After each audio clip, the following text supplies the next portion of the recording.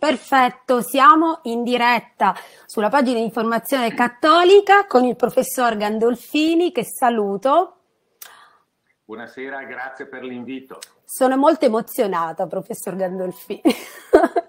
per me è veramente un onore e un onere eh, intervistarla stasera. Sappiamo dei suoi moltissimi impegni, sappiamo delle sue attività, sappiamo peraltro che questo è un periodo in cui è eh, impegnato su più fronti, non soltanto sulla questione eh, proposta di legge Zan, ma l'abbiamo vista molto impegnato sul fronte della scuola, per esempio, anche sulla lotta alle paritarie.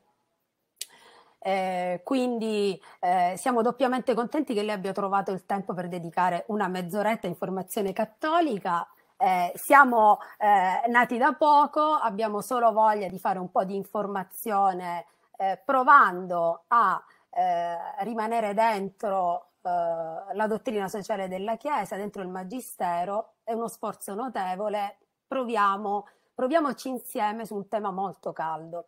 Allora, per quelle due o tre persone che non conoscono Massimo Gandolfini, perché insomma presentarla, vabbè, cosa, cosa dobbiamo dire? Eh, uno dei massimi, dei maggiori promotori dei Family Day, degli organizzatori, un difensore della famiglia, un difensore dei nostri figli eh, sotto tutti i punti di vista, eh, in tutti gli ambiti in cui questo mh, oggi eh, rende necessaria la nostra presenza, eh, ma è, eh, sappiamo eh, dirige il Dipartimento di Neurochirurgia a Brescia, giusto professore? Giusto, corretto. Perfetto. Allora, ehm, io direi bando alle ciance, le lascio subito la parola perché la prima domanda che viene in mente ai profani è, trattandosi di argomento eh, che ha un parolone, omofobia, omotransfobia, la prima domanda che viene al profano è ma questa omofobia, questa omotransfobia di cui parla questa proposta di legge, che roba è? È qualcosa che è definito a livello medico, è una fobia, eh, ha una definizione giuridica. È definita l'omofobia e l'omotrasfobia? Allora, grazie perché questa domanda permette di chiarire diciamo, il quadro generale del tema. Cominciamo subito col dire che non esiste al mondo una definizione condivisa da tutti del termine omofobia il termine omofobia o il termine omotransfobia fa parte del cosiddetto neolinguismo. È una neolingua, è una nuova denominazione che non ha ovviamente un retroterra culturale nel tempo passato, ma anche oggi non è stata definita. Non esiste una definizione di omofobia. Se dovessimo stare strettamente all'etimologia della parola, fobia vuol dire paura, in, in ambito psichiatrico le fobie sono sostanzialmente la paura di qualcosa. La rupofobia è la paura dello sporco. La claustrofobia è la paura di rimanere al chiuso. L'agorafobia è la paura invece di spazi larghi.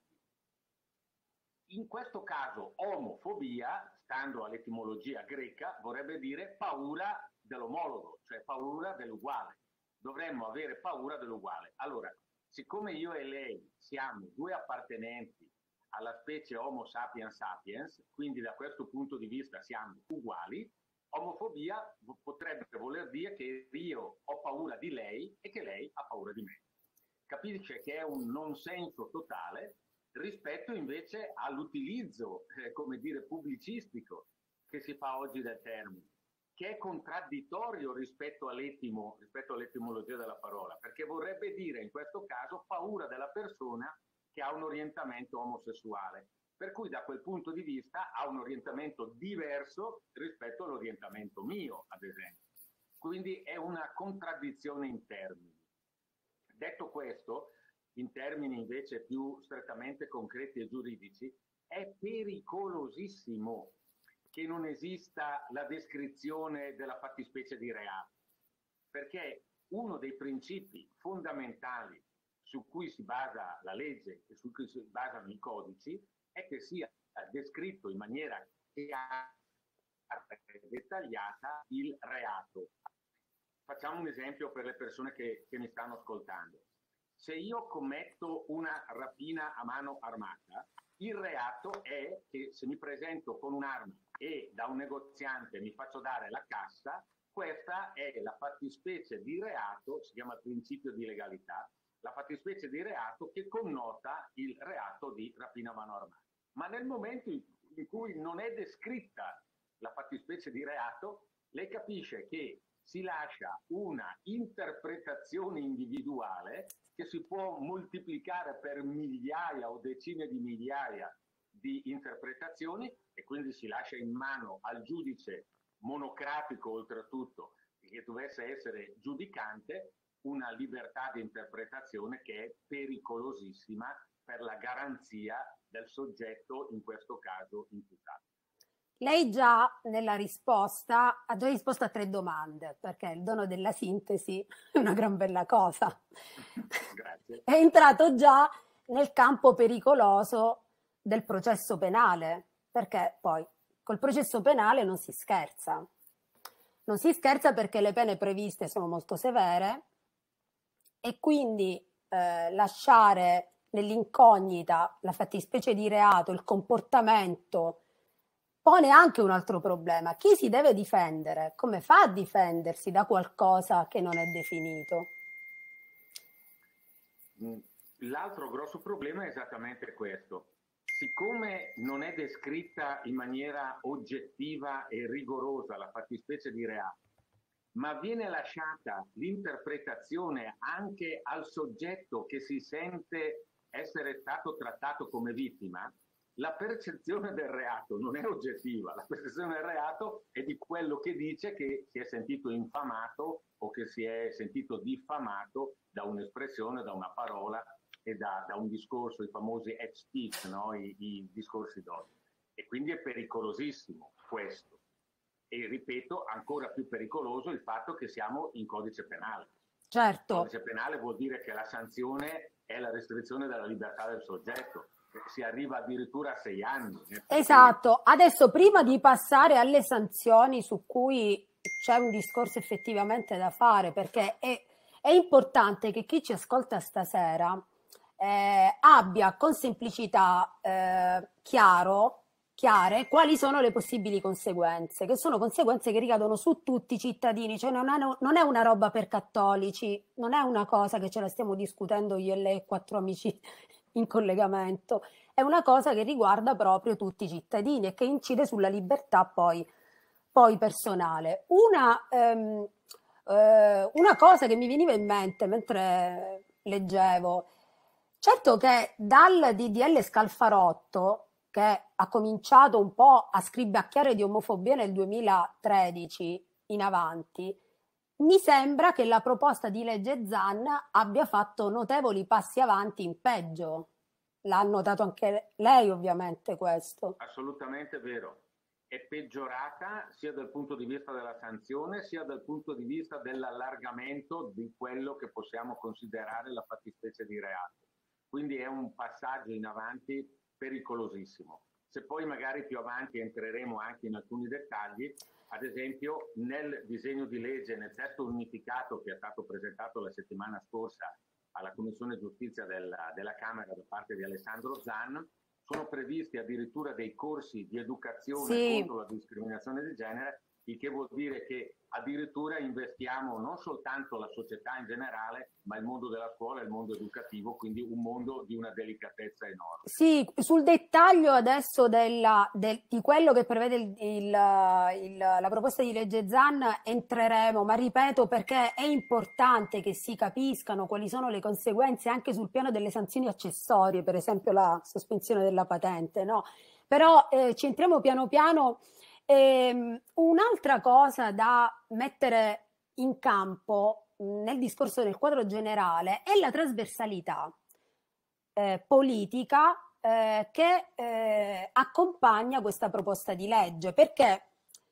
Leggo Zan, Scalfarotto, Boldrini per Antoni Bartolozzi, passiamo dal PD a Italia Viva, Movimento 5 Stelle, Forza Italia. Ora, dietro questa mh, proposta di legge ci sono dei movimenti che conosciamo bene, sono i movimenti LGBT come sono riusciti in questi anni ad avere, ad entrare così in profondità e a eh, fare in modo che le proprie istanze fossero percepite addirittura a livelli diversi, cioè a livelli non di singolo partito, anche se qualche partito magari è più eh, proiettato, no? Però eh, anche mh, altri partiti vedo che seguono il, il, il progetto mh, che c'è da parte dei movimenti LGBT. Guardi, diciamo la, la, la, strategia è innanzitutto... Ah, mi scusi professore, mi dicono di avvicinare l'auricolare. Io ho il microfono. Ah, hai il microfono, quindi il chiedo, microfono. chiedo se, se, l'audio va, va, bene perché la... Ehm... Lo posso avvicinare? Mi dica se si sente bene. Eh, prego, alzare il volume, si sente poco. Lo, lo avvicino. Io, sì. Io ce l'ho al massimo. Ma io anche veramente sono al massimo. Eh, proviamo, proviamo, vabbè, ce l'ho, eh, dalla, dalla diretta ci dicono proseguiamo e vediamo se dalla diretta ci danno ancora indicazioni eh, sul volume. Rispondo alla sua domanda. Sì. Beh, è stato potenziato dal 2013 arrivare ad oggi e soprattutto è riuscita questa mentalità a infiltrarsi eh, in, in, numerosi partiti perché in realtà è un vento che sta eh, correndo l- in tutto il mondo, in Europa ma anche fuori dall'Europa. C'è una vera e propria mainstreaming, possiamo dire, cioè una vera e propria imposizione di un pensiero unico sui temi dell'educazione sessuale e sui temi della condotta e del comportamento sessuale. Ed è, que- come dire, cavalcando quest'onda, anche in Italia numerosi partiti si sono lasciati contaminare da questa, da questa idea. Mi permetto anche di di fare un'altra affermazione. È chiaro che al di sotto anche di tutto questo, fermo restando che questo disegno di legge è pessimo da ogni punto di vista, quindi non da un punto di vista strettamente confessionale e religioso, ma da ogni punto di vista, quindi anche da un punto di vista laico, però è chiaro che questa è un'arma forte, possiamo dire una forte spada in mano a chi vuole combattere contro la cultura cristiana e la cultura cattolica.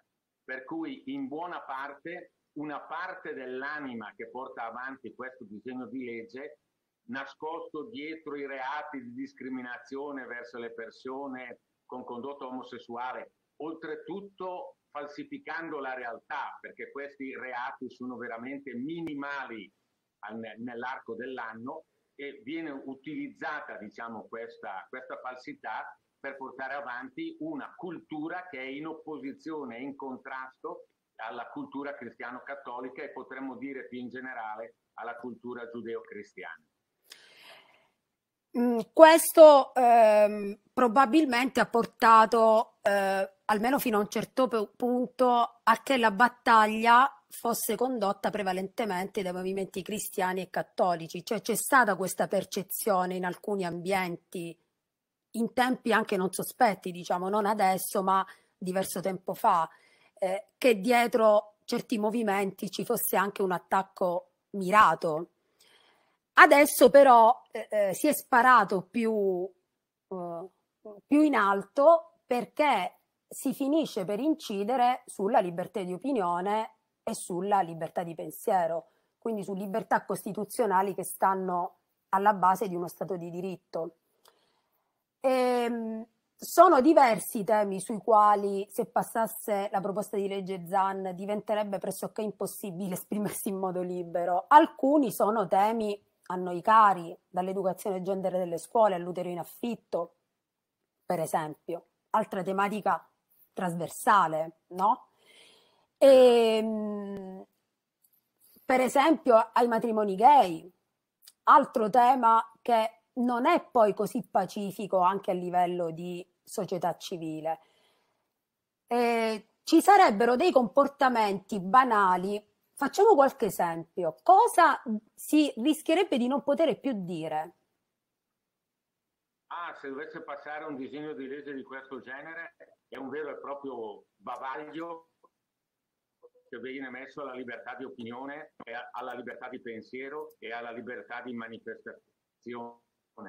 Ecco perché in questo momento stiamo raccogliendo una grande trasversalità di opposizione a un disegno di legge di questo genere. Perché al di là del tema omosessualità, omosessualismo, eccetera, il tema che, sulla quale si gioca la malvagità del, del disegno di legge ZAN è un tema che introduce di fatto la repressione del pensiero e il reato di opinione, in contrasto con l'articolo 21 della nostra Costituzione, articolo che voglio ra- ricordare, tutti, sappiamo bene, ma ricordarlo non fa male, articolo che è costato sangue e lacrime ai nostri padri, perché le tre grandi dittature del XX secolo, il nazismo, il fascismo e il comunismo, erano dittature il cui cardine era esattamente la repressione del libero pensiero e l'introduzione del reato di opinione. Quindi rieccoci, eh, siamo nuovamente in diretta.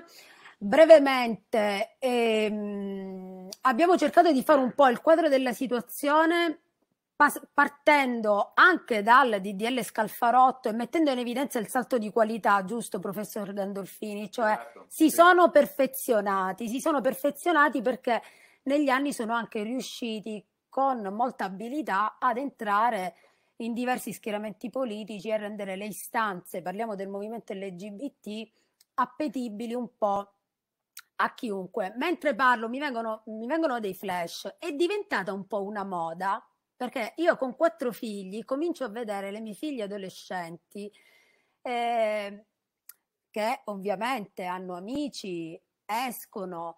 Eh, io noto che c'è essere LGBT, perorare la causa degli LGBT è diventato per i ragazzini anche qualcosa di, di cui andare fieri. È come se fosse una battaglia nobile Qui c'è un qualcosa proprio di abile perché si è riusciti dal punto di vista culturale a rendere appetibile e giusta una battaglia, come se fossero delle rivendicazioni che un tempo possiamo immaginare, no? le rivendicazioni sociali, il diritto di voto alle donne. Oggi purtroppo in molti ambienti, negli ambienti meno preparati, viene percepita come una battaglia di libertà. Lei, anche lei ha questa sensazione che si sia lavorato molto bene a livello culturale da questo punto di vista? Certamente, e vorrei sottolineare due aspetti. Il primo aspetto è che si è utilizzata l'arma della propaganda falsa, che è tipica di tutte le dittature del pensiero. La propaganda falsa, che, par- che parte decenni prima di oggi, è stata quella che le persone omosessuali sono delle persone fatte oggetto di discriminazione, di violenza, di, di diffamazione e quindi sono delle persone discriminate, sono delle persone deboli, vulnerabili, contro le quali la società si è stagliata. Questo è stato il messaggio falso di propaganda che è stato portato avanti. Perché, ripeto, che ci siano singoli fatti è vero e questi vanno assolutamente condannati, ma non è vero che ci sia una sorta di programma di discriminazione delle persone per il loro orienta- orientamento sessuale. Dall'altra parte è chiaro che si è introdotto, utilizzando questo cavallo di Troia, si è introdotto una cultura diffusa che vorrei paragonare a quello che ho vissuto io negli anni del liceo e dell'università. Io ero all'università negli anni 68, 70, 73, negli anni in cui chiunque non era marxista, non era leninista, non era comunista, era semplicemente un retrogrado, era un fascista, era uno che era contro il progresso, che ce l'aveva col popolo operaio, io ricordo i film dei tempi, la classe operaia va in paradiso. Cioè, per essere qualcosa di nobile socialmente bisognava essere comunisti ed operai.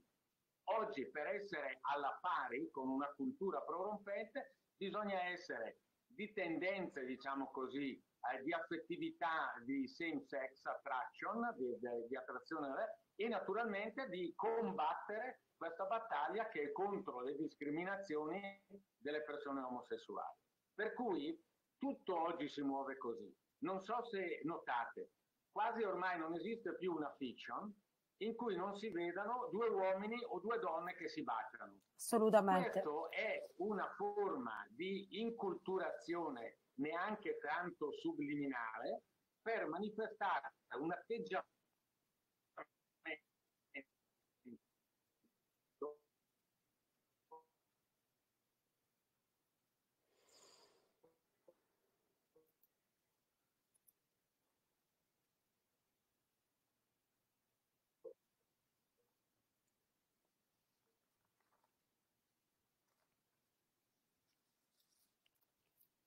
nei confronti dei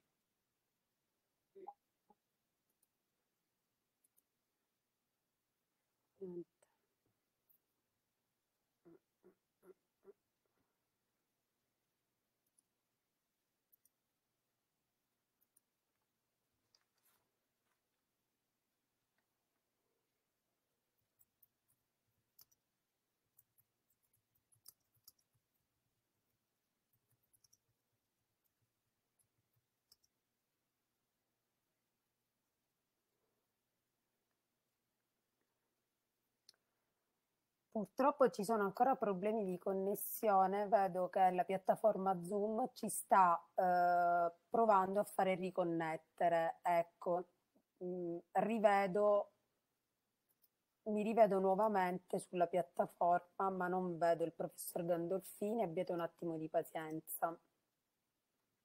Eccoci. Io sento... Perfetto, io la sento un po' a tratti, però eh, vedo che è ritornato. Vada pure avanti.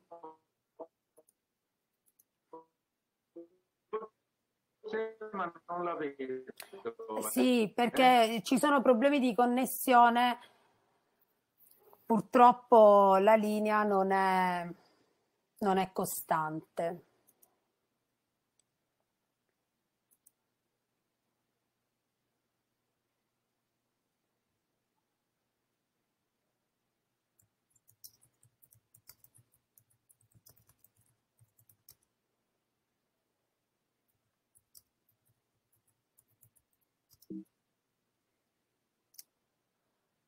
Eccoci, mi sembra che si sia ripristinato il collegamento in questo momento. Eccoci. Ecco, adesso, eccoci, adesso eccoci. Ci... Che fatica. che, che fatica stasera. Guardi, qui ci sono 35 gradi, però le posso assicurare che sto facendo un bagno. Incredibile.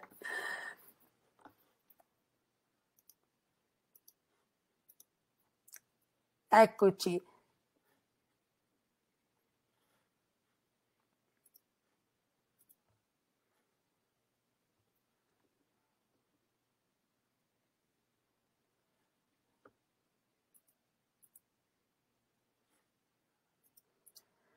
Niente, purtroppo la linea continua a saltare. Vedo che la piattaforma prova a ricollegarci di nuovo. So che siamo in diretta, quindi su Facebook dovreste sentirmi. La piattaforma sta ripristinando il collegamento.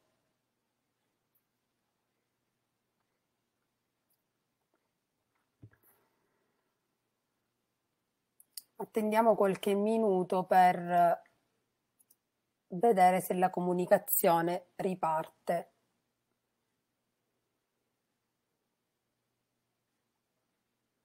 Purtroppo è un collegamento faticoso stasera. Eh, normalmente le dirette Zoom eh, che abbiamo finora fatto sono state dal punto di vista tecnico molto più agevoli. Eh, questa devo dire ci sta facendo sudare sette camicie. Riproviamo a vedere se riparte il collegamento. La vedo. Eccoci. Ecco, la vedo. Ma noi beh, siamo, siamo ostinati, siamo sempre qui. Perseveriamo. Perseveriamo. Guardi, io ho fatto qualche diretta Zoom, le posso assicurare che questa sta diventando la più faticosa. Eh, allora, dicevamo, l'aspetto culturale, eh, pa- lei, lei ne ha parlato diffusamente, mi pare che l'aspetto culturale però sia importante quello a cui si è arrivati, si è giunti, perché eh, la battaglia diventa anche più complessa nel momento in cui sembra che noi ci poniamo in opposizione a qualcuno che invece chiede delle semplici rivendicazioni. È per questo che bisogna anche essere molto chiari nella comunicazione. Bisogna dire innanzitutto come premessa fondamentale che noi siamo assolutamente d'accordo, anche sulla base dell'articolo 3 della nostra Costituzione, che nessun cittadino italiano, per nessuna ragione, deve essere fatto oggetto di violenza, di, di, di vilipendio e di offesa e che nessun cittadino italiano deve essere oggetto di discriminazione. Questo lo dice l'articolo 3 della Costituzione. Quando ci sono dei reati contro la persona, reati di violenza fisica, di violenza verbale, di diffamazione, esiste già tutto lo strumentario giuridico per sanzionare e per perseguire quel reato. Quindi, se una persona omosessuale viene fatta oggetto di violenza, esiste già il, lo strumentario giuridico per condannare e per reprimere quel reato. Non c'è bisogno di una nuova legge. La nuova legge ha questo invece di pericolosissimo, che introduce una forma di pensiero unico, di dittatura del pensiero, e addirittura investe il campo educativo, perché nella legge, voglio ricordare, che è prevista l'istituzione della, della giornata nazionale contro le discriminazioni omo-transfobiche e che vengono previsti dei corsi di educazione nelle scuole di ogni genere e grado sulla teoria, sul principio dell'identità di genere. Contro questo aspetto si sono scagliati anche i movimenti femministi, tanto per dire. I movimenti femministi, tra l'altro, si sono scagliati anche rispetto alla impossibilità di dibattere sulla questione dell'utero in affitto. Ci sono state anche giornaliste in questi giorni come la, la Sargentini che è stata attaccata duramente eh, proprio perché lei da anni conduce una battaglia contro l'utero in affitto insieme ad altre associazioni anche di femministe di sinistra. Quindi c'è un po' un cortocircuito all'interno del sistema però, perché quelli, eh, quelli che si sono svegliati si stanno accorgendo che non è neanche giusta dal punto di vista proprio giuridico una tutela speciale per determinate categorie. L'essere umano che viene eh, ingiuriato o che è oggetto di violenza, non importa che sia, che appartenga ad una speciale categoria per ricevere tutela dall'ordinamento giuridico, la violenza è violenza. Esatto, e questo il tema fondamentale è questo. La violenza va sempre condannata e non ha bisogno che esista una categoria perché il, in base ad una condotta o di una qualcosa debba essere particolarmente tutelata. E se poi volessimo andare a vedere quali sono oggi le categorie più bullizzate, sia a livello sociale e a maggior ragione a livello scolastico, lo dico sempre a tutti, la categoria più bullizzata oggi è quella delle persone obese. Assolutamente. Ecco, i bambini obesi, i ragazzi obesi, le ragazze obese, eccetera. Allora, dovremmo scrivere anche una legge che tutela per contro l'obesofobia? Ecco, è un assurdo totale il movimento, il movimento eh, femminista radicale ha compreso che questa è una legge ideologica perché va contro il semplice buonsenso. Non è una questione di difesa del cattolicesimo, è semplicemente una questione di difesa delle libertà democratiche e del buonsenso. Se poi scendiamo nel dettaglio alle pene che sono previste, c'è, io dico, da aver paura. Perché noi siamo abituati a pensare sempre che le cose accadano agli altri e invece guardate che accadono anche a noi. se noi guardiamo le pene e non soltanto le pene, eh, il carcere, che già di per sé è previsto da una pena minima di un anno e sei mesi a un massimo di sei anni, cioè stiamo parlando di una pena base un anno e sei mesi fino a un massimo di sei anni, che è tantissimo.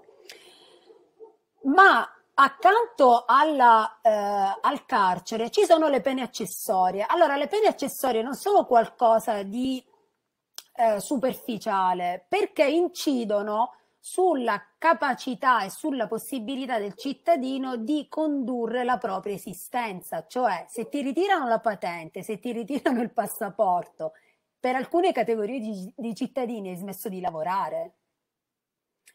Esatto. Quindi questo inasprimento delle pene, che è la novità però professor Gandolfini, cioè questo è il salto di qualità di cui parlavamo prima, no? dallo scalfarotto al, alla proposta di legge Zan.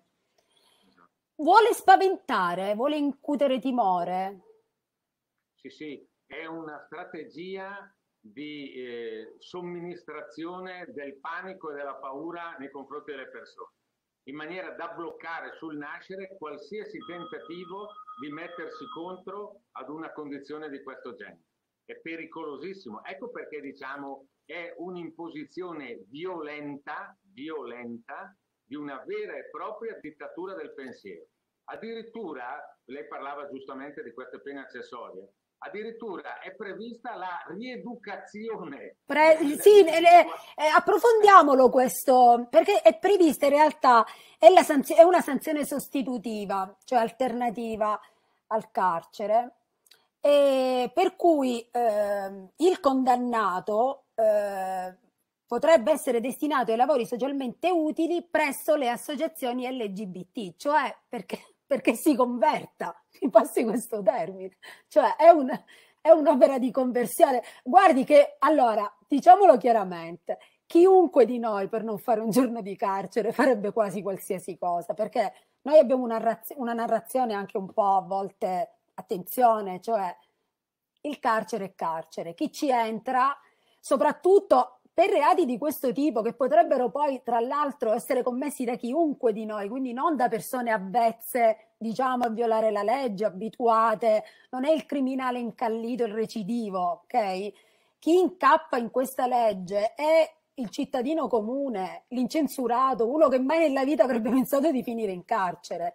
Ecco come possibilità alternativa a quella di essere rieducato e di fare volontariato lavoro socialmente utile. Questa è una roba allucinante comunque, questa io la trovo gravissima. E ancora un altro tassello che si aggiunge all'affermazione concreta che, abbiamo, che stiamo facendo questa sera, che si tratta di una imposizione, di una dittatura del pensiero unico. La rieducazione culturale è una cosa terribile, è una roba da stasi. Ma sì, sì, ci porta indietro di veramente di, di un secolo. Eh.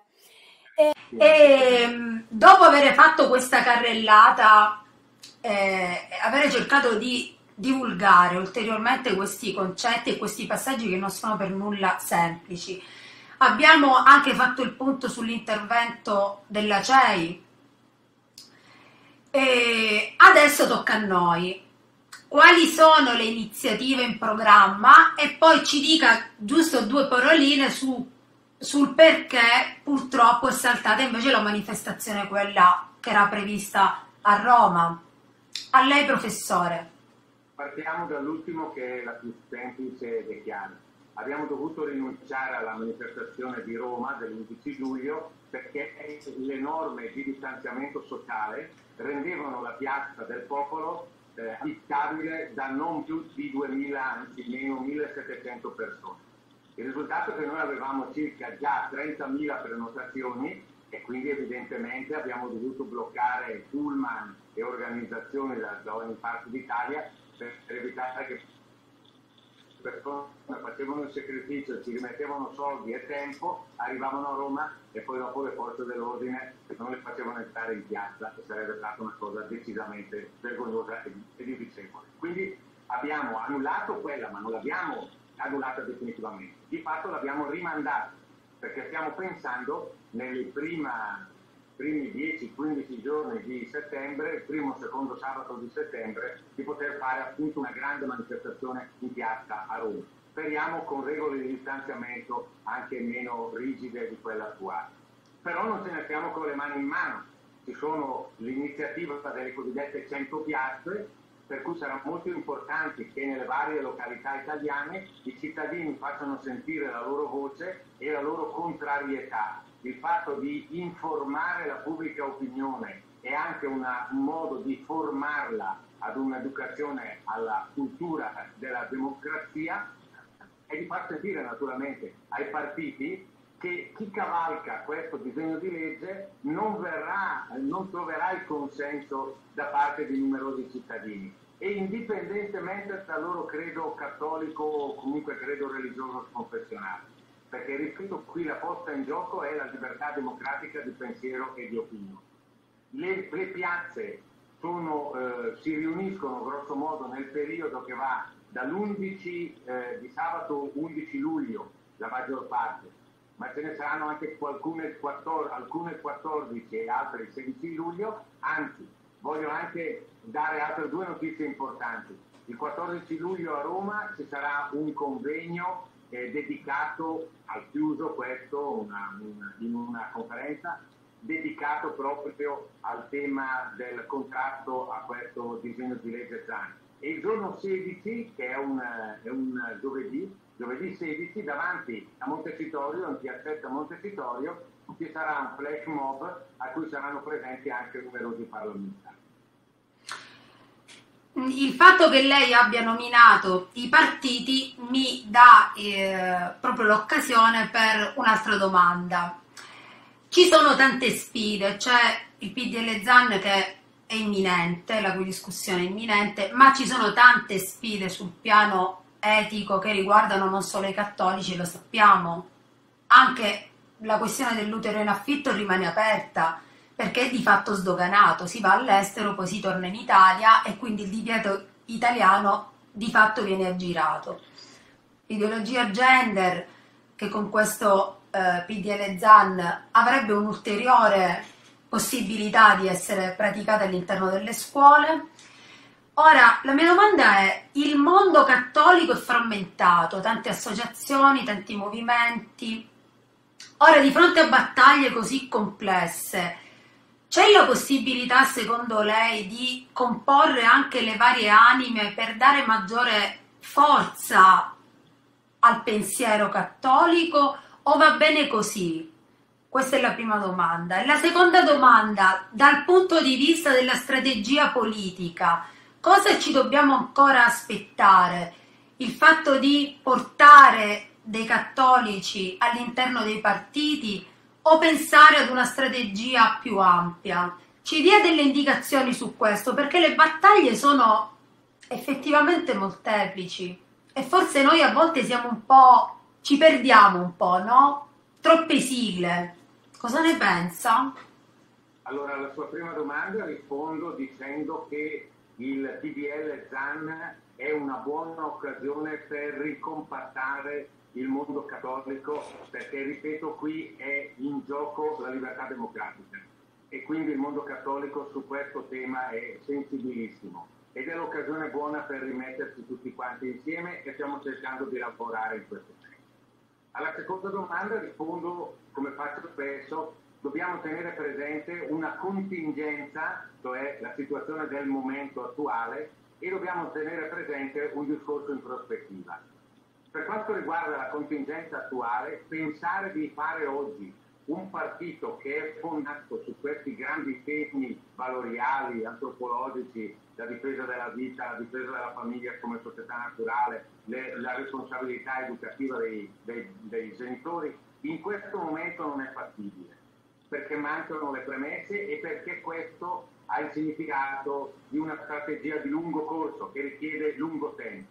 Per cui ci mettiamo in quella prospettiva e vediamo di momento in momento come poterla costruire. Allora è importante avere chiara la meta in maniera da stabilire poi i passi che ci permettono di arrivare a quella meta.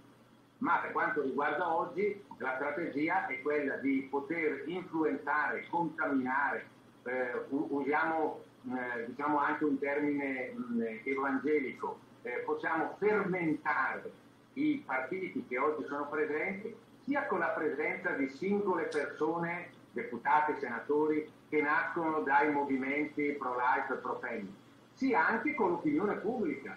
Queste manifestazioni di piazza sono come dire ai partiti, ragazzi guardate che se legalizzate la cannabis, se legalizzate l'utero in affitto, se non fate nulla per cercare di, mh, mm, eh, di, di bloccare questa strategia di allargamento dell'aborto fino addirittura all'aborto fai da te in casa. Guardate che i partiti che sostengono queste istanze non riceveranno il nostro voto.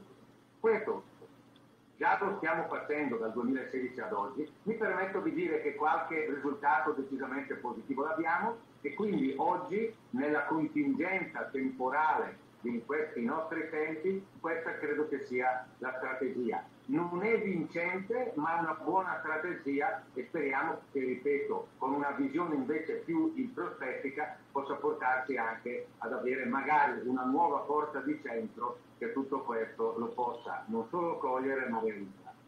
Ha notato una maggiore convergenza tra le varie anime che compongono il mondo cattolico in questo ultimo in occasione di questo ultimo eh, di questa battaglia imminente, quella del PDL Zand, o è solo una mia sensazione? Lei ha percepito un, una maggiore coesione tra le diverse anime? Direi proprio di sì.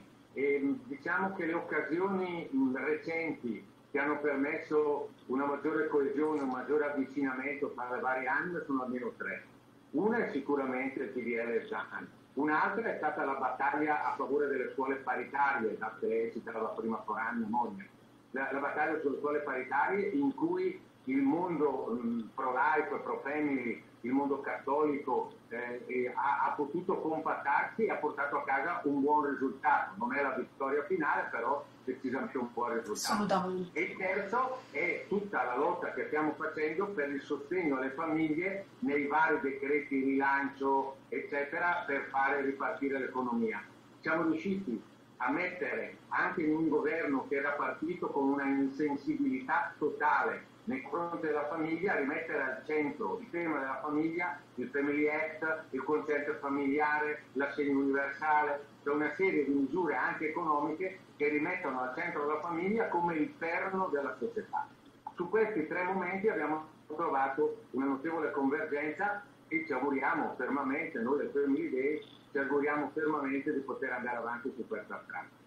Quindi le faccio un'osservazione cattiva, quindi quando leggiamo qualche brutto articolo su avvenire che sembra a volte sposare certe posizioni, cosa dobbiamo fare? Spallucce come fa mia figlia quando mi fa così.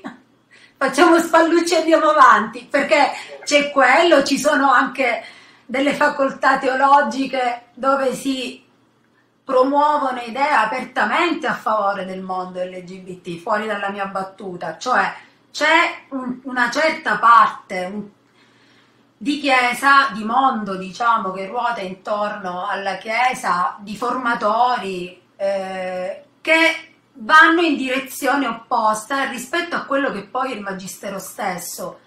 Ecco, quando noi ci troviamo di fronte a queste realtà, concretamente noi laici non so cosa possiamo fare, ma forse le gerarchie ecclesiastiche dovrebbero muoversi in altro modo per aggiustare un po' il tiro o va bene così? Cioè, ci dobbiamo tenere questa roba qua? No, quello che noi dobbiamo fare, innanzitutto il nostro faro eh, non è l'articolista eh, di avvenire signor tale o signor tal'altro.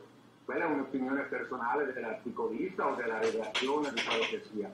Il nostro faro deve essere il Magistero della Chiesa il Ministero della Chiesa su questi temi è chiarissimo perché c'è il Catechismo della Chiesa Cattolica, c'è quel bellissimo documento della Congregazione per la Fede del 1986, per cui il faro ce l'abbiamo chiaro ed è questa la, la meta e da questo che noi dobbiamo essere illuminati.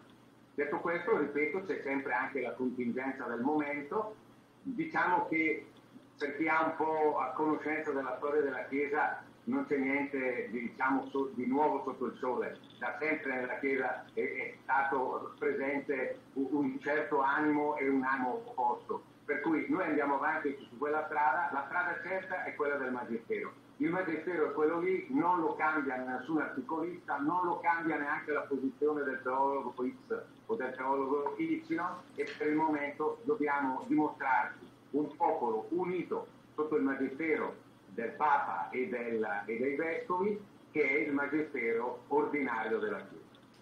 Perfetto, io allora non voglio approfittare ulteriormente né della sua pazienza né della connessione che però adesso va bene. E quindi, eh, siccome anche concluso con questa ventata veramente di, dico di speranza che ci sia una ricomposizione per un marciare meglio insieme, ecco, io eh, chiuderei qui perché ci, ci, ha riempito il cuore queste, queste sue ultime parole. Ci volevano insomma dai ci voleva e... non è un politically correct. No no ma guardi, io poco fa le ho detto mentre eravamo in privato che parlare con lei, lei è esattamente come è, nel senso non c'è differenza tra come lo si vede parlare al microfono al Family Day e di persona per cui la, la spontaneità e la sincerità sono veramente palpabili. Quindi io intanto la ringrazio veramente a nome della redazione di Informazione Cattolica di Matteo Orlando e di tutti gli amici che stanno lavorando a questo progetto. Eh, ringrazio gli amici che hanno avuto la pazienza di ascoltarci. Mi dispiace se le ho fatto fare alle 21.30 la sua cena. Lei cenerà stasera, io mi trovo a Noto eh, eh, e ceniamo normalmente alle 9.30. Ma, ma, so che in Lombardia non funziona proprio così, perché è perché ho il marito di Varese, quindi. e quindi io adesso la lascio alla sua cena. Ringrazio veramente ancora gli amici, spero di poterla risentire eh, per tenerci aggiornati sul punto, professor Gandolfini, e magari anche su altri temi volentieri, mi, mi, ritenga a vostra disposizione e rinnovo il mio grazie per questo invito e per questa bella serata. Grazie, grazie veramente, un saluto a tutti e alla prossima, alla prossima intervista. Buonasera a tutti, buonasera professore, grazie di cuore.